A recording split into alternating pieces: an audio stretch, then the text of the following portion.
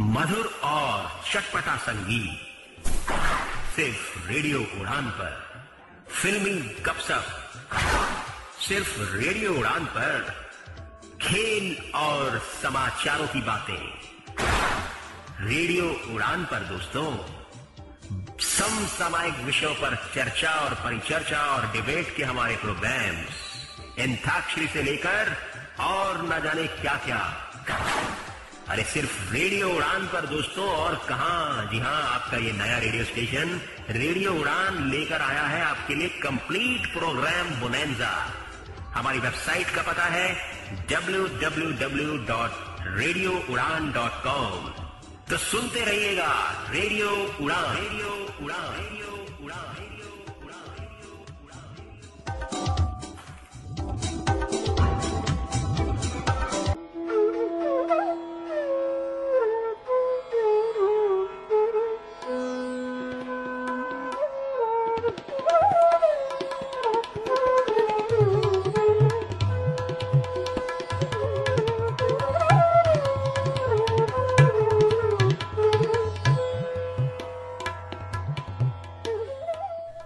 नमस्कार श्रोताओं, रेडियो उड़ान पर मैं स्वागत करती हूँ। आप सभी का शुक्रवार का दिन शाम के सात बज चुके हैं और मैं लेकर आ चुकी हूँ आपके लिए ज्ञान, मनोरंजन से भरपूर, प्रेरणादायक कहानियाँ मैं आपके लिए लाई हूँ आपके मनपसंद शो कथा लोक में। साथ ही हमारे शो में काव्यधारा स्तंभ भी शामिल होगा, जिसमें होंगी हरिवंश राय बच्चन की कुछ कविताएँ। कहानियों में सबसे पहले आप कहानी सुनेंगे, कांच की बरनी और दो कप चाय। इसके बाद आप सुनेंगे धर्मसार। इसके बाद हम आपको सुनाएँगे शिव पुराण की कुछ कहानियाँ, साथ ही साथ हिंदी साहित्य की प्रसिद्ध लेखिका महादेवी वर्मा की कहानी सुनेंगे आप, गिल्लू। और हम आपको बता ही चुके हैं कि काव्य धारा स्तंभ में हम कविताएँ सुनेंगे हरिवंश राय बच्चन की। तो कहीं मत जाइएगा, बने रहिए आप मेरे साथ पूरे एक घंटे तक।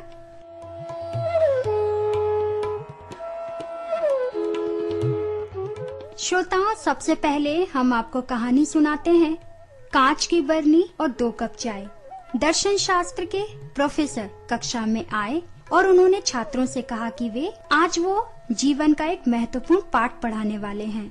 उन्होंने अपने साथ लाई एक बहुत बड़ी कांच की बन्नी को टेबल पर रखा और उन्होंने टेबल टेनिस की गेंदे उसमें डालनी शुरू कर दी। वो तब तक उसमें डालते रहे जब तक कि वो पूरी नहीं भर गई।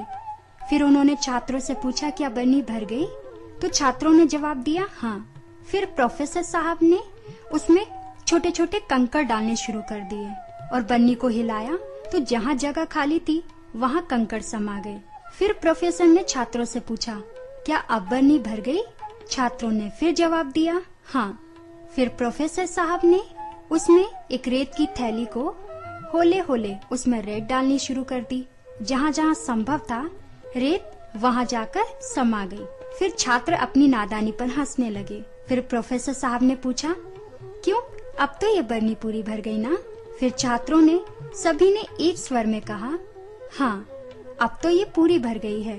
प्रोफेसर साहब ने फिर टेबल के नीचे से चाय के दो कप निकाले और उसमें की चाय बर्नी में डाली और फिर चाय भी रेत के बीच में थोड़ी सी जगह में सोख ली गई प्रोफेसर साहब ने गंभीर आवाज़ में समझाना शुरू किया, इस कांच की बरनी को तुम लोग अपना जीवन समझो टेबल टेनिस की गेंदे सबसे महत्वपूर्ण भाग, अर्थात भगवान, परिवार, बच्चे, मित्र, स्वास्थ्य और शौक हैं। छोटे कंकड़, अर्थात तुम्हारी नौकरी, गाड़ी और बड़ा मकान है। और रेत का मतलब? और भी छोटी छोटी सी बातें मन मुटाव झगड़े आदि हैं। और अगर तुमने कांच की बरनी में रेत भरी होती तो टेबल टेनिस की गेंदों को और कंकड़ों को जगह ही नहीं बचती।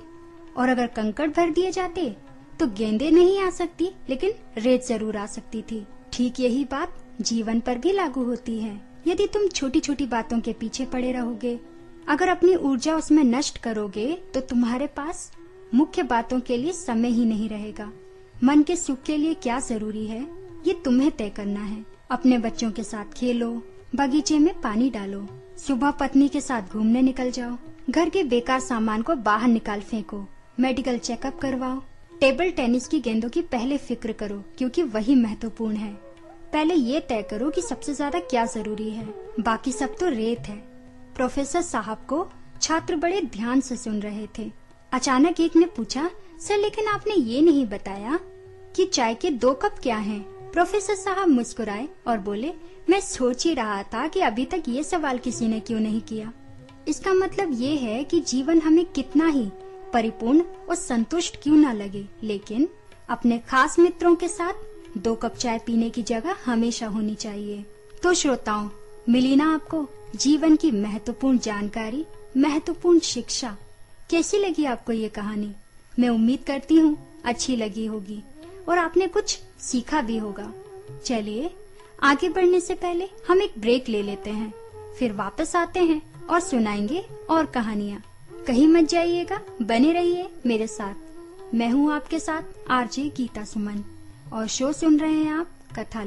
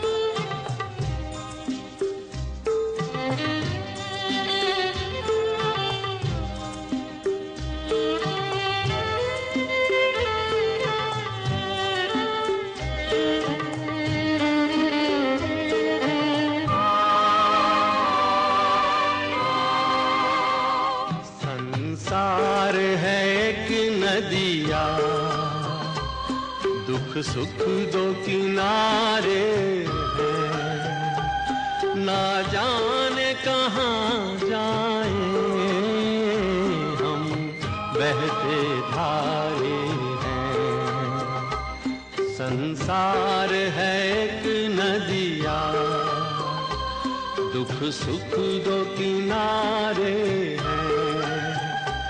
ना जाने कहाँ जाए हम, बहते थारे हैं। संसार है एक नदिया।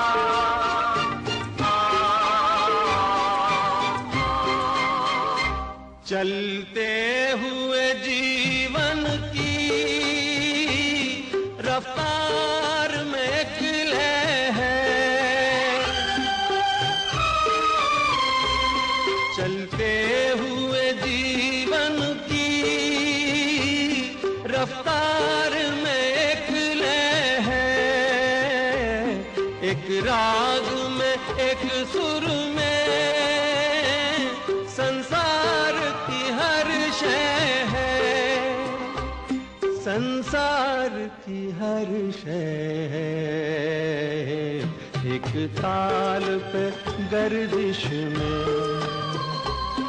ये चाँद सितारे हैं।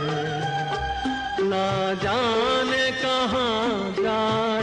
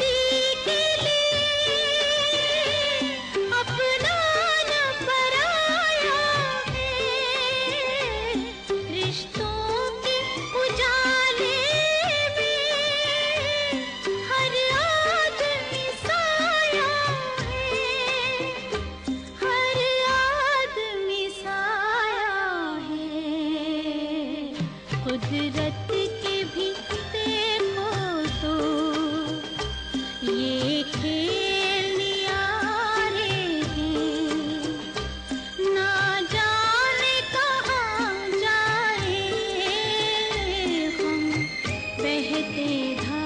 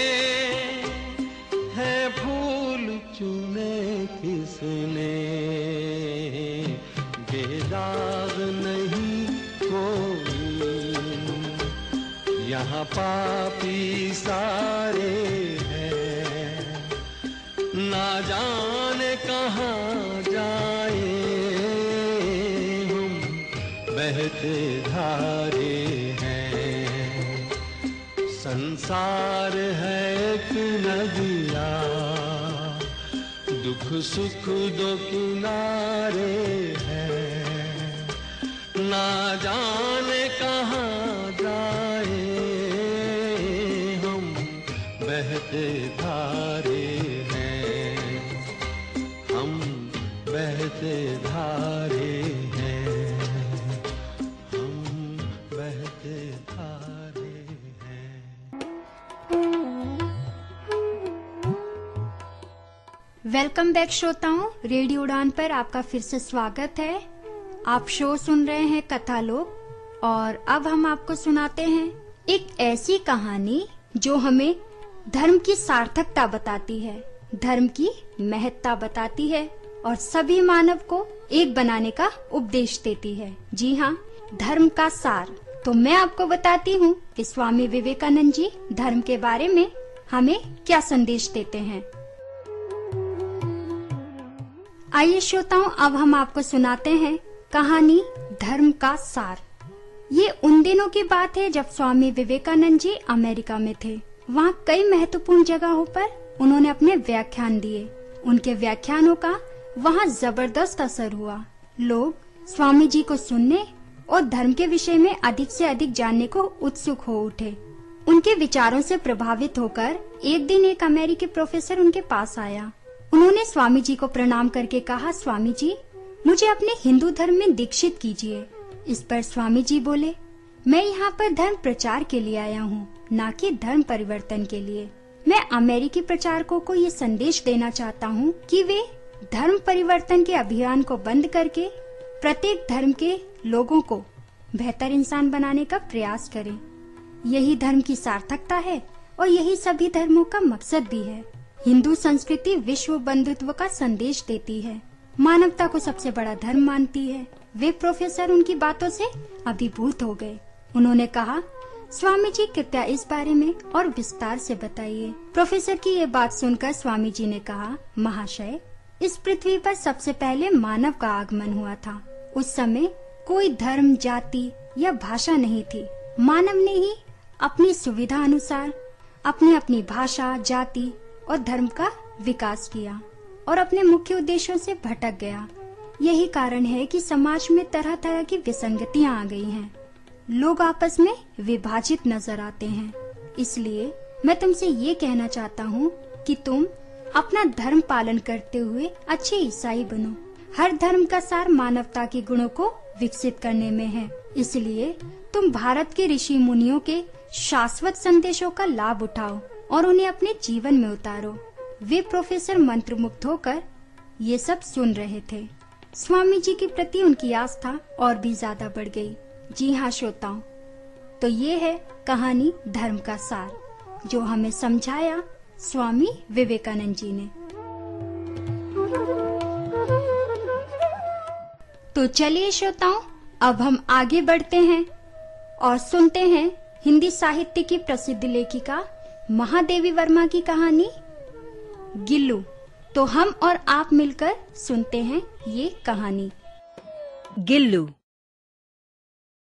अचानक एक दिन सवेरे कमरे से बरामदे में आकर मैंने देखा दो कौवे एक गमले के चारों ओर चोंचों से छुआ छुआउल जैसा खेल खेल रहे हैं। निकट जाकर देखा, गिलहरी का एक छोटा सा बच्चा है, जो संभवतः घोंसले से गिर पड़ा है और अब कौवे जिसमें सुलभ आहार खोज रहे हैं, वह निश्चेष्ट सा गमले से चिपटा पड़ा था।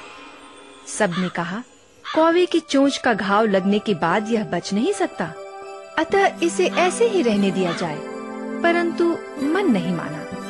उसे हौले से उठाकर अपने कमरे में लाई। फिर रुई से रक्त पोंछकर घावों पर पेनिसिलिन का मरहम लगाया। रुई की पतली बत्ती दूध में भिगोकर जैसे तैसे उसके नन्हे से मुँह में लगाई। पर मुँह खुल न सका। और दूध की बूंदें दोनों ओर लुढ़क गईं। कई घंटे के उपचार के उपरांत उसके मुँह में एक बूंद पानी टपकाया जा सका। तीन चार मास में उसके स्निग्ध रोएँ, झब्बेदार पूंछ और चंचल चमकीली आँखें सबको विस्मित करने लगी। हम उसे गिल्लू कहकर बुलाने लगे। मैंने फूल रखने की एक हल्की डलिया में रुई बिछाकर उसे तार से खिड़की पर लटका दिया। वही दो वर्ष गिल्लू का घर रहा। वह स्वयं हिलाकर अपने घर में झूलता और अपनी कांच के मनकों सी आँखों से कमरे के भीतर और खिड़की के बाहर ना जाने क्या देखता, समझता रहता था। परंतु उसकी समझदारी और कार्यकलाप पर सबको आश्चर्य होता था। जब मैं लिखने बैठती, तब अपनी ओर मेरा ध्यान आकर्षित करने की उसे इतनी तीव्र इच्छा होती थी कि उसने एक अच्छा उपाय खोज निकाला। वह मेरे पैर तक आकर सर्र से पर्दे पर चढ़ जाता और फिर उसी तेज़ी से उतरता। उसका यह दौड़ने का क्रम तब तक चलता जब तक मैं उसे पकड़ने के लिए ना उठती। कभी मैं गिल्लू को पकड़कर एक लंबे लिफाफे में इस प्रकार रख देती कि उसके अगले दो पंजों और सिर के अतिरिक्त सारा लघुगात लिफाफे के भीतर बंद रहता। इस अद्भुत स्थिति में कभी-कभी घंटों मेज पर दीवार के सहारे खड़ा रहकर वह अपनी चमकीली आँखों से मेरा कार्यकलाप देखा करता। भूख लगने पर चिक चिक करके मानो वह मुझे सूचना देता और काजू या बिस्किट मिल जाने पर उसी स्थिति में लिफाफे से बाहर वाले पंजों से पकड़कर उसे कुतरता रहता। नीम चमेली की गंध मेरे कमरे में हौले हौले आने लगी। बाहर की गिलहरियाँ खिड़की की जाली के पास आकर चिक चिक करके ना जाने क्या कहने लगी। गिल्लू को जाली के पास बैठकर अपने पन से बाहर झांकते देखकर मुझे लगा कि इसे मुक्त करना आवश्यक है। मैंने कीले निकालकर जाली का एक कोना खोल दिया और इस मार्ग से गिल्लू ने बाहर जाने पर सचमुच ही मुक्ति की सांस ली। इतने छोटे से जीव को घर में पले कुत्ते, बिल्लियों से बचाना भी एक समस्या ही थी। आवश्यक कागज़ पत्रों के कारण मेरे बाहर जाने पर कमरा बंद ही रहता है। कॉलेज से लौटने पर जैसे ही कमरा खोला गया और मैंने भीतर पैर रखा, वैसे ही गिल्लू अपने जाली के द्वार से भीतर आकर मेरे पैर से सिर और सिर से पैर तक दौड़ने लगा। तब से यह नित्य का क्रम हो गया। मेरे कमरे से बाहर जाने पर गिल्लू भी खिड़की की खुली जाली की राह बाहर चला जाता और दिन भर गिलहरियों के झुंड का नेता बना, हर डाल पर उछलता कूदता रहता। और ठीक चार बजे वह खिड़की से भीतर आकर अपने झूले में झूलने लगता। मुझे चौंकाने की इच्छा उसमें न जाने कब और कैसे उत्पन्न हो गई थी। कभी फूलदान के फूलों में छिप जाता, कभी पर्दे की चुन्नट में, और कभी सोन जूही की पत्तियों में। मेरे पास बहुत से पशु पक्षी हैं। और उनका मुझसे लगाव भी कम नहीं है। परंतु उनमें से किसी को मेरे साथ मेरी थाली में खाना खाने की हिम्मत हुई है, ऐसा मुझे स्मरण नहीं आता। गिल्लू इनमें अपवाद था। मैं जैसे ही खाने के कमरे में पहुँचती, वह खिड़की से निकलकर आँगन की दीवार, बरामदा पार करके मेज पर पहुँच जाता और मेरी थाली में बैठ जाना चाहता। बड़ी कठिनाई से मैंने उसे थाली के पास बैठना सिखाया। जहाँ बैठकर वह मेरी थाली में से एक एक चावल उठाकर बड़ी सफ़ाई से खाता रहता। काजू उसका प्रिय खाद्य था और कई दिन काजू ना मिलने पर वह अन्य खाने की चीज़ें या तो लेना बंद कर देता था या झूले से नीचे फेंक देता था। उस बीच मुझे मोटर दुर्घटना में आहत होकर कुछ दिन अस्पताल में रहना पड़ा। उन दिनों जब मेरे कमरे का दरवाज़ा खोला जाता गिल्लू अपने झूले से उतरकर दौड़ता और फिर किसी दूसरे को देखकर उसी तेज़ी से अपने घोंसले में जा बैठता। सब उसे काजू दे जाते, परंतु अस्पताल से लौटकर जब मैंने उसके झूले की सफ़ाई की तो उसमें काजू भरे मिले, जिससे ज्ञात होता था कि वह इन दिनों अपना प्रिय खाद्य कितना कम खाता रहा। मेरी अस्वस्थता में वह तकिए पर सिरहाने बैठकर अपने नन्हे नन्हे पंजों से मेरे सिर और बालों को इतने हौले हौले सहलाता रहता कि उसका हटना एक परिचारिका के हटने के समान लगता। गर्मियों में जब मैं दोपहर में काम करती रहती तो गिल्लू न बाहर जाता, न अपने झूले में बैठता। उसने मेरे निकट रहने के साथ गर्मी से बचने का एक सर्वथा नया उपाय खोज निकाला था। वह मेरे पास रखी सुराही पर लेट जाता और इस प्रकार समीप भी रहता और ठंडक में भी रहता। गिलहरियों के जीवन की अवधि दो वर्ष से अधिक नहीं होती। अतः गिल्लू की जीवन यात्रा का अंत आ ही गया। दिन भर उसने न कुछ खाया, न बाहर गया। रात में अंत की यातना में भी वह अपने झूले से उतरकर मेरे बिस्तर पर आया और ठंडे पंजों से मेरी वही उंगली पकड़कर हाथ से चिपक गया, जिसे उसने अपने बचपन की मरणासन स्थिति में पकड़ा था। पंजे इतने ठंडे हो रहे थे कि मैंने जाकर हीटर जलाया और उसे उष्णता देने का प्रयत्न किया। परंतु प्रभात की प्रथम किरण के स्पर्श के साथ ही किसी और जीवन में जागने के लिए वह सो गया।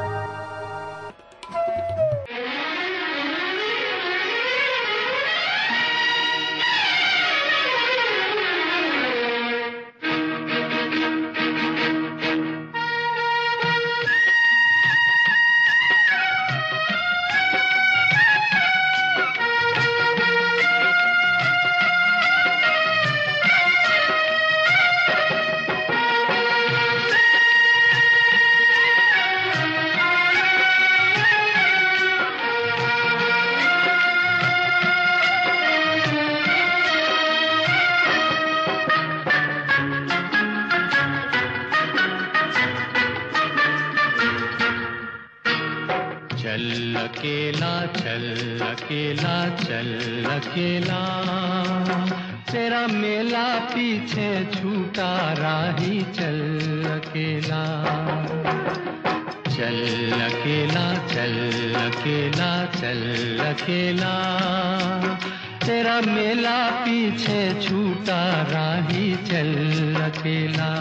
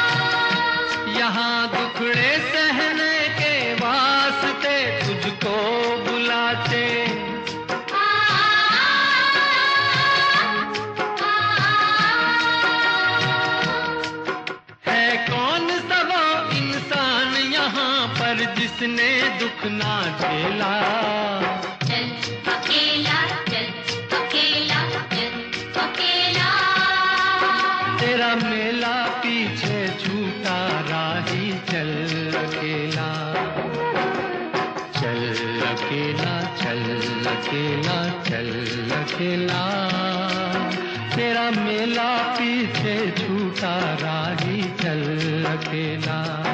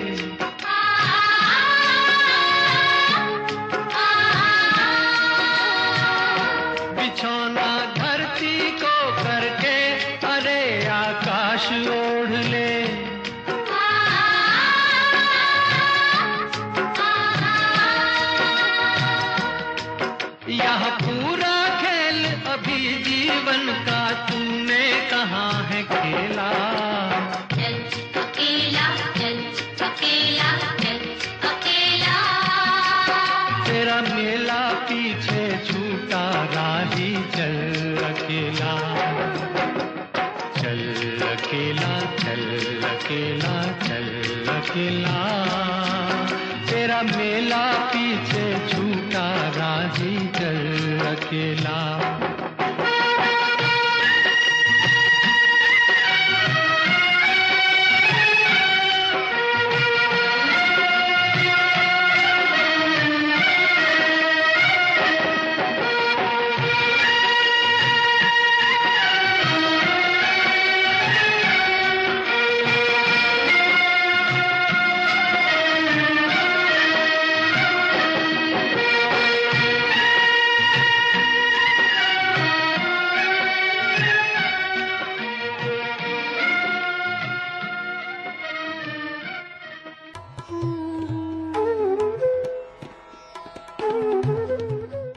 वेलकम बैक श्रोताओं, रेडियो उड़ान पर आपका फिर से स्वागत है।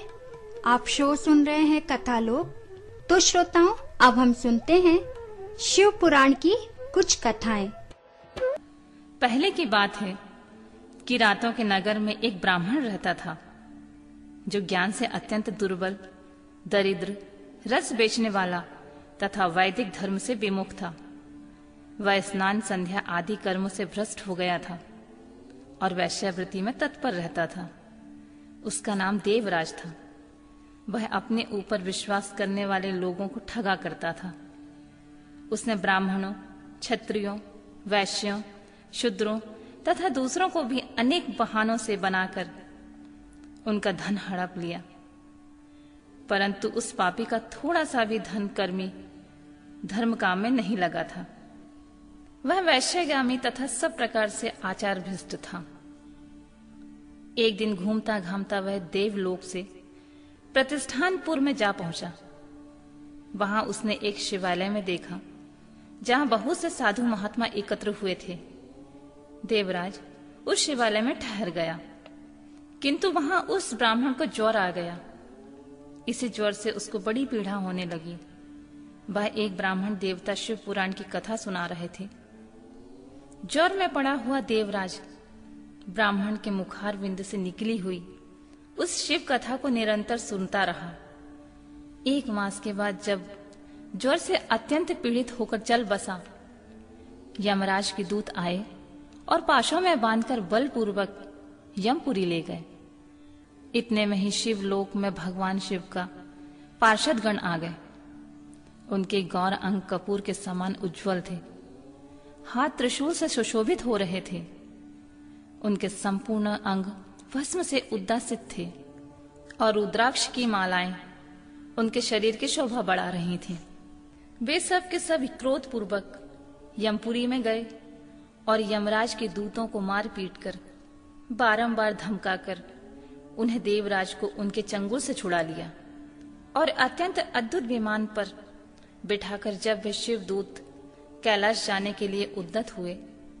उसी समय यमपुरी में बड़ा भारी कोलाहल मच गया। उस कोलाहल को सुनकर धर्मराज अपने भवन से बाहर आए। साक्षात दूसरे रुद्रों के समान प्रतीत होने वाले चारों दूतों को देखकर धर्मज्ञ धर्मराज ने उनका विधि पूर्वक पूजन किया और ज्ञान दृष्टि से देखकर सारा वृतांत जान लिया। उन्होंने भय के कारण भगवान शिव के उन महात्माओं दूतों से कोई बात नहीं पूछी। उल्टी उन सब की पूजा एवं प्रार्थना की। तत्पश्चात वे शिव दूत कैलाश को चले गए। वहाँ पहुंचकर उन्होंने उस ब्राह्मण को दया सागर साम्य शिव के हाथों में दे दिया। शौनक जी ने पूछा, महाभाग सूत जी, आप सर्वज्ञ हैं, महामते। आपकी कृपा प्रसाद से बारंबार कृतार्थ हुआ हूँ। इस इतिहास को सुनकर मेरा मन अत्यंत आनंद से निमग्न हो रहा है। अतः अब भगवान शिव में प्रेम बढ़ाने वाली शिव संबंधिनी की दूसरी कथा भी कहिए। श्री सूत जी बोले, शौनक, सुनो, मैं तुम्हारे सामने गोपनीय कथा वस्तु का भी वर्णन करूँगा, क्योंकि तुम शिव भक्तों में अग्रगण तथा वेद वेताओं में श्रेष्ठ हो। समुद्र के निकटवर्ती प्रदेश में एक बास्कल नामक ग्राम है, जहाँ वैदिक धर्म से विमुख महापापी द्विज निवास करते हैं। वे सब के सब बड़े दुष्ट हैं। उनका मन दूषित विषय भोगों में लगा रहता है। वे ना तो देवताओं पर विश्वास करते हैं, न भाग्य पर। वे सभी कुटिल वृत्ति वाले हैं। किसानी करते और भली भांति के घातक अस्त्र शस्त्र रखते हैं। वे व्यभिचारी एवं खल हैं। ज्ञान वैराग्य तथा सब धर्म का सेवन ही मनुष्य के लिए परम पुरुषार्थ है। इस बात को वे बिल्कुल नहीं जानते हैं। वे सभी पशु बुद्धि वाले हैं। अन्य वर्णों के लोग भी उन्हीं की भांति कुसित विचार रखने वाले। स्वधर्म विमुख एवं खल हैं। वे सदा कुकर्म में लगे रहते हैं और नित्य विषय भोगी में ही डूबे रहते हैं। वहाँ की सब स्त्रियाँ भी कुटिल स्वभाव की, स्वेच्छाचारिणी, पाप सख्त कुशित विचार वाली एवं व्यभिचारिणी है। वे सदव्यवहार एवं सदाचार से सर्वथा शून्य है। इस प्रकार वहाँ का दुष्टों का ही निवास है। उस बाशकल नामक ग्राम में किसी समय एक विदुंग नामधारी ब्राह्मण रहता था। वह बड़ा अधम था, दुरात्मा और महापापी था। यद्यपि उसकी स्त्री बड़ी सुंदरी थी तो अभी वह कुमार्ग पर चलता रहता था। उसकी पत्नी का नाम चंचुला था। वह सदा उत्तम धर्म का पालन करने में लगी रहती थी तो भी उसे छोड़कर वह दुष्ट ब्राह्मण, वैश्यगामी हो गया था। इस तरह कुकर्म में लगे हुए उस बिंदु का बहुत वर्ष व्यतीत हो गए।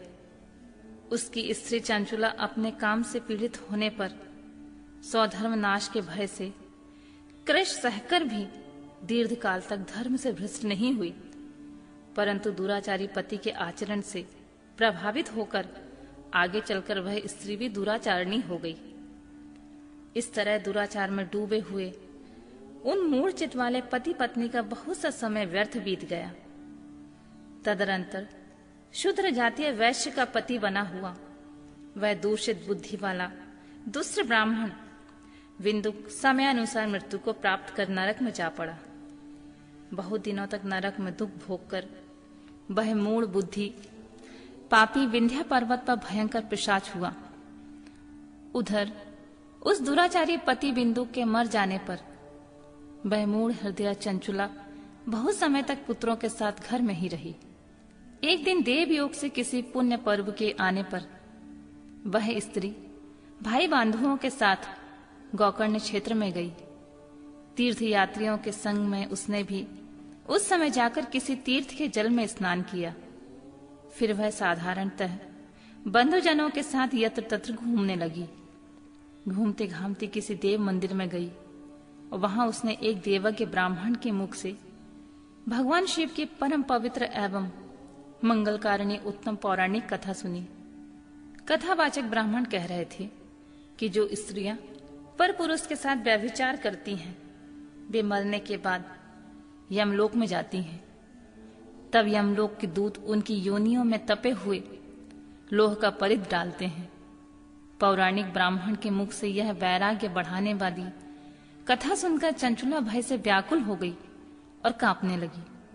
जब कथा समाप्त हुई और सुनने वाले सब लोग वहाँ से चले गए, तब वह भयभीत नारी एकांत में शिव पुराण की कथा बांचने वाले उन ब्राह्मण देवता से बोली, चंचुला ने कहा, ब्राह्मण मैं अपने धर्म को नहीं जानती थी, इसलिए मेरे द्वारा बड़ा दुराचार हुआ है। स्वामिन मेरे ऊपर अनुपम कृपा करके मेरा उद्धार कीजिए। आज आपके वैराग्य रस से ओत प्रोत इस प्रवचन को सुनकर मुझे बड़ा भय लग रहा है। मैं काप उठी हूँ और मुझे इस संसार से वैराग्य हो गया है। मुझ मूड चित वाली पापिनी को धिक्कार है। मैं सर्वथा निंदा के योग हूँ। कुशित विषयों में फंसी हुई। अपने धर्म से विमुख हो गई हूँ। हाय, न जाने किस किस घोर कष्टदायक दुर्गति में मुझे पड़ना पड़ेगा। और वहाँ कौन बुद्धिमान पुरुष कुमार्ग में धन लगाने वाली मुझ पापनी का साथ देगा? मृत्यु काल में उन भयंकर यमदूतों को कैसे देखूँगी? जब वे बलपूर्वक मेरे गले में फंदे डालकर मुझे बांधेंगे। तब मैं कैसे धीरज धारण कर सकूँगी? नरक में जब मेरे शरीर के टुकड़े टुकड़े किए जाएँगे, उस समय विशेष दुख देने वाली, उस महायातना को कैसे झेलूँगी? हाय, मैं मारी गई, मैं मर गई, मैं जल गई, मेरा हृदय विदीर्ण हो गया और मैं सब प्रकार से नष्ट हो गई, क्योंकि मैं हर तरह से पाप में डूबी रहती हूँ। ब्राह्मण, आप ही मेरे गुरु आप ही माता, आप ही पिता हैं। आपके शरण में आई मुझ दीन अवला का, आप ही उद्धार कीजिए। उद्धार कीजिए प्रभु। सूत जी कहते हैं, शौनक, इस प्रकार खेद और वैराग्य से युक्त चंचुला, ब्राह्मण देवता के दोनों चरणों में गिर पड़ी। तब उन बुद्धिमान ब्राह्मण ने कृपा पूर्वक उसे उठाया और इस प्रकार कहा, ब्राह्मण बोले, नारी सौभाग्य की बात तो यह है कि भगवान शंकर की कृपा से शिव पुराण के वैराग्य युक्त कथा को सुनकर तुम समय पर चेत गई हो।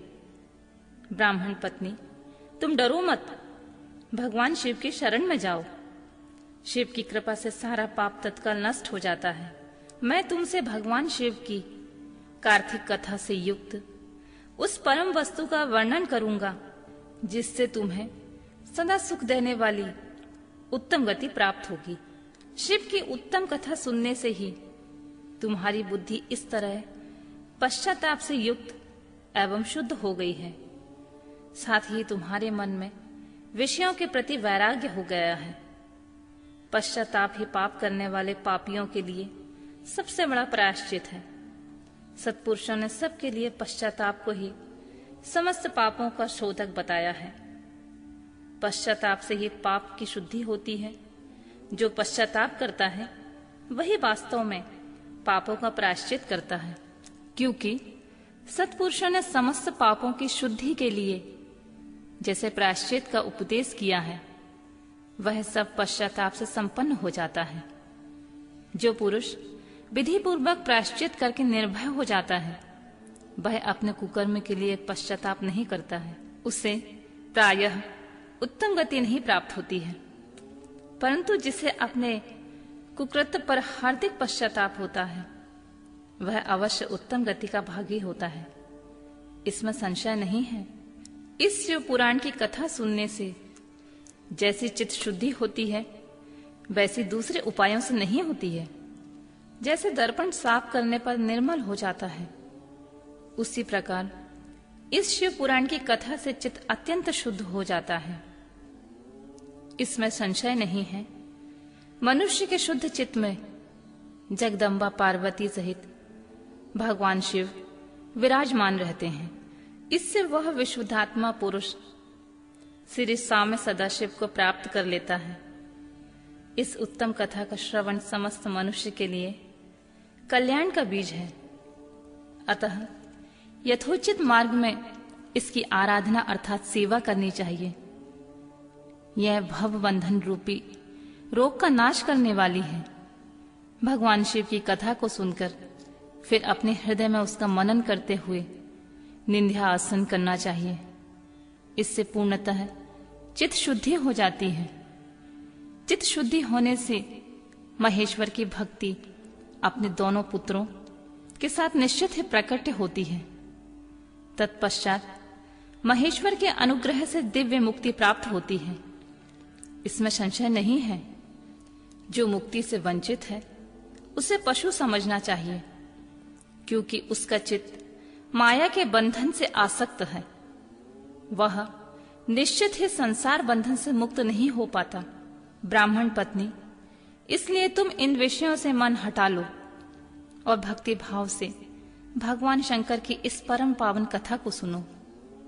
परमात्मा शंकर की इस कथा को सुनने से तुम्हारे चित्त की शुद्धि होगी। इससे तुम्हें मोक्ष की प्राप्ति भी हो जाएगी।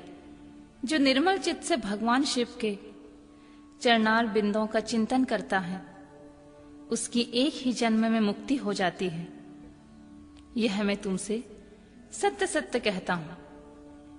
सूत जी बोले, शौनक, इतना कहकर वे श्रेष्ठ शिव भक्त ब्राह्मण चुप हो गए। उनका हृदय करुणा से आद्र हो गया। वे शुद्ध चित्त महात्मा भगवान शिव के ध्यान में मग्न हो गए। तदंतर बिंदु की पत्नी चंचुला मन ही मन प्रसन्न हो उठी। ब्राह्मण का उक्त उपदेश सुनकर उसके नेत्रों में आनंद के आँसू छलक आए थे। वह ब्राह्मण पत्नी चंचुला हर्ष भरे हृदय से उन श्रेष्ठ ब्राह्मण के दोनों चरणों में गिर पड़ी। और हाथ जोड़कर बोली, मैं कृतार्थ हो गई। तत्पश्चात उठकर वैराग्य युक्त उत्तम बुद्धि वाली वह स्त्री, जो अपने पापों के कारण आतंकित थी, उन महान शिव भक्त ब्राह्मण से हाथ जोड़कर गद्यवाणी से बोली, चंचुला ने कहा, ब्राह्मण, शिव भक्तों में श्रेष्ठ स्वामीन, आप धन्य हैं, परमार्थदर्शी हैं, आप सदा परोपकार में लगे रहते हैं। इसीलिए श्रेष्ठ साधु। पुरुषों में प्रशंसा के योग्य हैं। साधु, मैं नरक के समुद्र में गिर रही हूँ। आप मेरा उद्धार कीजिए। पौराणिक अर्थ तत्व से संपन्न। जिस सुंदर शिव पुराण की कथा को सुनकर मेरे मन में संपूर्ण विषयों से वैराग्य उत्पन्न हो गया है। उसी इस शिव पुराण को सुनने के लिए इस समय मेरे मन में बड़ी श्रद्धा हो रही है। सूजी कहते हैं ऐसा कहकर हाथ जोड़कर उनका अनुग्रह पाकर चंचुला। उस शिव पुराण की कथा को सुनने की इच्छा मन में लिए हुए उन ब्राह्मण देवता की सेवा में तत्पर होने के लिए वहाँ रहने लगी। तदंतर शिव भक्तों में श्रेष्ठ और शुद्ध बुद्धि वाले ब्राह्मण देव ने उसी स्थान पर उस स्त्री को शिव पुराण की उत्तम कथा सुनाई। इस प्रकार उस गौकर्ण नामक महाक्षेत्र में स्त्री ने परम उत्तम कथा सुनी, जो भक्ति, ज्ञान और वैराग्य बढ़ाने वाली तथा मुक्ति देने वाली है। उस परम उत्तम कथा को सुनकर वह ब्राह्मण पत्नी अत्यंत कृतार्थ हो गई। उसका चित्त शुद्ध हो गया। फिर भगवान शिव के अनुग्रह से उसके हृदय में शिव के सद्गुण रूप का चिंतन होने लगा। इस प्रकार उसने भगवान शिव में लगी रहने वाली उत्तम बुद्धि पाकर। शिव के सच्चिदानंदमय स्वरूप का बारंबार चिंतन आरंभ किया। तत्पश्चात समय के पूरे होने पर भक्ति ज्ञान और वैराग्य से युक्त चंचुला ने अपने शरीर को बिना किसी कष्ट के त्याग दिया। इतने में ही त्रिपुर शत्रु भगवान शिव का भेजा हुआ एक दिव्य विमान द्रुत गति से वहाँ पहुँचा, जो उनके अपने गणों से संयुक्त और भली भांति के शोभा साधनों से संपन्न था। चंचुला उस विमान पर आरूढ़ हुई और भगवान शिव के श्रेष्ठ पार्षदों ने उसे तत्काल शिवपुरी में पहुँचा दिया। उसके सारे मल धुल गए थे। वह दिव्य रूप धारणी, दिव्यांगना हो गई थी। उसके दिव्य अपवय उसकी शोभा बढ़ाते थे। मस्तक पर अर्धचंद्राकार का मुकुट धारण किए वह गौरांगी देवी, शोभा वाली दिव्य आभूषण से विभूषित थी। शिवपुरी में पहुंचकर उसने सनातन देवता, त्रिनेत्रधारी महादेव जी को देखा। सभी मुख्य मुख्य देवता उनकी सेवा में खड़े थे। गणेश, भृंगी, नंदीश्वर तथा वीरभद्रेश्वर आदि उनकी सेवा में उत्तम भक्ति भाव से उपस्थित थे। उनकी अंग क्रांति करोड़ों सूर्यों के समान प्रकाशित हो रही थी। कंठ में नील चिन्ह शोभा पाता था। पाँच मुख और प्रत्येक मुख में तीन तीन नेत्र थे। मस्तक पर अर्धचंद्राकार मुकुट शोभा देता था। उन्होंने अपने बांग भाग में गौरी देवी को बिठा रखा था, जो विद्युत पूज्य के समान प्रकाशित हो रही थी। गौरीपति महादेव जी की क्रांति कपूर के समान गौर थी। उनका सारा शरीर श्वेत भस्म से भ्राषित था। शरीर पर श्वेत वस्त्र शोभा पा रहे थे। इस प्रकार परम उज्जवल भगवान शंकर का दर्शन करके वह ब्रह्म पत्नी चंचुला बहुत प्रसन्न हुई। अत्यंत प्रीति युक्त होकर उसने बड़ी उतावली के साथ भगवान को बारंबार प्रणाम किया। फिर हाथ जोड़कर बड़े प्रेम, आदर और आनंद संतोष से युक्त होकर विनित भाव से खड़ी हो गई। उसके नेत्रों में आनंद अश्रुओं की अविरल धारा बहने लगी, तथा संपूर्ण शरीर में रोमांच हो गया। उसी समय भगवती पार्वती और भगवान शंकर ने उसे बड़ी करुणा के साथ अपने पास बुलाया और सौम्य दृष्टि उसके ऊपर डाली। पार्वती जी ने दिव्य रूप धारणी, बिंदु प्रिया चंचुला को प्रेम पूर्वक अपनी सखी बना लिया। वह उस परमानंदन, ज्योति स्वरूप सनातन धाम में अविचल निवास पाकर दिव्य सौम्य से संपन्न हो अक्षर सुख का अनुभव करने लगी।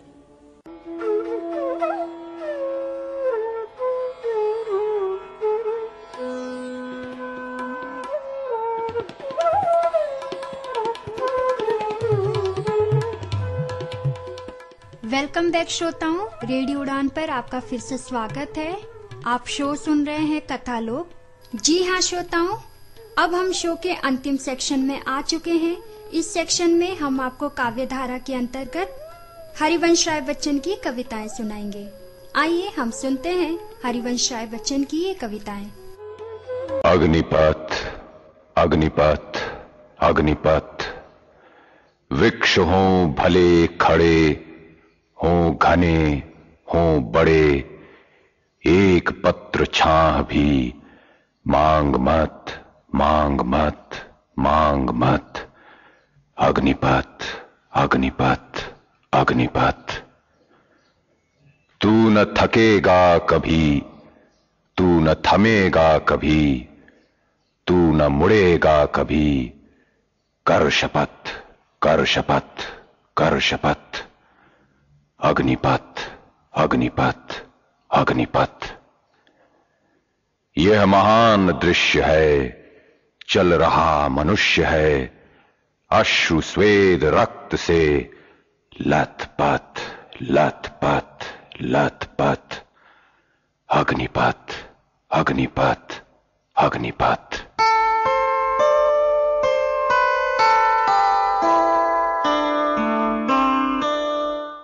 अग्निदेश से आता हूँ मैं। झुलस गया तन, झुलस गया मन, झुलस गया कवि कोमल जीवन, किंतु अग्निवीणा पर अपने दग्ध कंठ से गाता हूँ मैं, अग्निदेश से आता हूँ मैं। कंचन ही था जो बच पाया, उसे लुटाता मग में आया, दीनों का मैं वेश किए हूँ, दीन नहीं हूँ, दाता हूँ मैं अग्निदेश से आता हूँ मैं। तुमने अपने कर फैलाए, लेकिन देर बड़ी कर आए।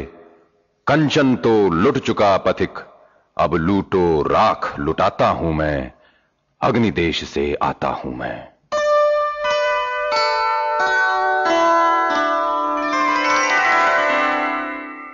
तुम तूफ़ान समझ पाओगे गीले बादल, पीले रजकण, सूखे पत्ते, रूखे तृणघन, लेकर चलता करता हर हर इसका गान समझ पाओगे? तुम तूफ़ान समझ पाओगे? गंध भरा यह मंद पवन था, लहराता इससे मधुवन था, सहसा इसका टूट गया जो स्वप्न महान, समझ पाओगे? तुम तूफ़ान समझ पाओगे। तोड़ मरोड़ विटप लतिकाएँ, नोच खसोट कुसुम कलिकाएँ, जाता है अज्ञात दिशा को। हटो विहंगम, उड़ जाओगे। तुम तूफ़ान समझ पाओगे।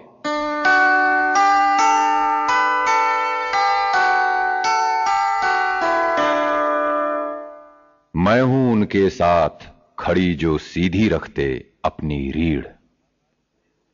कभी नहीं जो तज सकते हैं अपना न्यायोचित अधिकार। कभी नहीं जो सह सकते हैं शीश नवाकर अत्याचार। एक अकेले हों या उनके साथ खड़ी हो भारी भीड़। मैं हूँ उनके साथ खड़ी जो सीधी रखते अपनी रीढ़। निर्भय होकर घोषित करते जो अपने उद्गार विचार, जिनकी जिह्वा पर होता है, उनके अंतर का अंगार, नहीं जिन्हें चुप कर सकती है आतताइयों की शमशीर, मैं हूँ उनके साथ खड़ी जो सीधी रखते अपनी रीढ़। नहीं झुका करते जो दुनिया से करने को समझौता, ऊँचे से ऊँचे सपनों को देते रहते जो न्योता दूर देखती जिनकी पैनी आँख भविष्यत का तमचीर मैं हूँ उनके साथ खड़ी जो सीधी रखते अपनी रीढ़। जो अपने कंधों से, पर्वत से बढ़ टक्कर लेते हैं, पथ की बाधाओं को जिनके पाँव चुनौती देते हैं, जिनको बाँध नहीं सकती है, लोहे की बेड़ी जंजीर, मैं हूँ उनके साथ खड़ी जो सीधी रखते अपनी रीढ़। जो चलते हैं अपने छप्पर के ऊपर लूका धरकर, हार जीत का सौदा करते जो प्राणों की बाजी पर, कूद उदधि में नहीं पलटकर जो फिर ताका करते तीर, मैं हूँ उनके साथ खड़ी जो सीधी रखते अपनी रीढ़। जिनको ये अवकाश नहीं है, देखें कब तारे अनुकूल, जिनको यह परवाह नहीं है कब तक भद्रा, कब दिक्षूल जिनके हाथों की चाबुक से चलती है उनकी तकदीर, मैं हूँ उनके साथ खड़ी जो सीधी रखते अपनी रीढ़। तुम हो कौन? कहो जो मुझसे सही गलत पथ लो तो जान। सोच सोच कर, पूछ पूछ कर बोलो, कब चलता तूफ़ान? सतपथ वो है जिस पर अपनी छाती ताने जाते वीर। मैं हूँ उनके साथ, खड़ी जो सीधी रखते अपनी रीढ़। हम आपसे अगले हफ़्ते फिर मिलेंगे। आपको ये शो कैसा लगा? इसके बारे में आप हमें अपना फीडबैक भेज सकते हैं। आप स्काइप के ज़रिए फीडबैक दे सकते हैं। हमारी स्काइप आईडी है radio Udaan R A D I O U D A A अगर आपने ऐड नहीं की है तो इसे ऐड कर लीजिएगा। इसके अलावा, आप हमारी वेबसाइट पर भी फीडबैक दे सकते हैं। वेबसाइट का पता है www.radiodan.com साथ ही आप हमें ईमेल भी कर सकते हैं। ईमेल का पता है Geeta G double E T A Geeta at radioudaan dot com तो श्रोताओं, मिलती हूँ मैं आपसे अगले हफ़्ते ढेर सारी कहानियों के साथ। तब तक के लिए मुझे इजाज़त दीजिए। नमस्कार।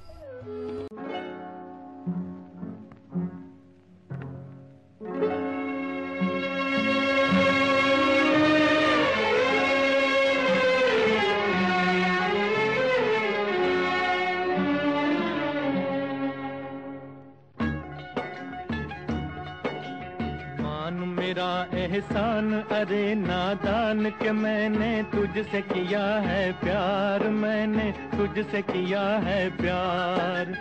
मेरी नज़र की धूप न भरती, रूप तो होता हुस्न तेरा बेकार, मैंने तुझसे किया है प्यार। मान मेरा एहसान, अरे नादान के मैंने तुझसे किया है प्यार, मैंने तुझसे किया है प्यार।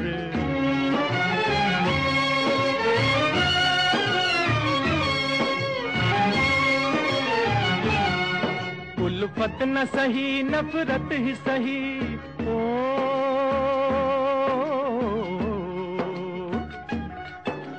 उल्फत न सही, नफरत ही सही, इसको भी मोहब्बत कहते हैं। तू लाख छुपाए भेद मगर हम दिल में समाये रहते हैं। तेरे भी दिल में आग उठी है, जाग जबा से चाहे न कर इकरार। मैंने तुझसे किया है प्यार। मेरी नज़र की धूप न भरती रूप तो होता हुस्न तेरा बेकार। मैंने तुझसे किया है प्यार।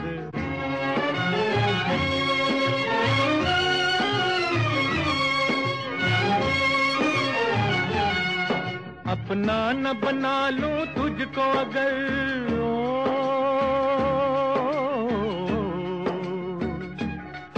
अपना न बना लूँ तुझको अगर एक रोज तो मेरा नाम नहीं।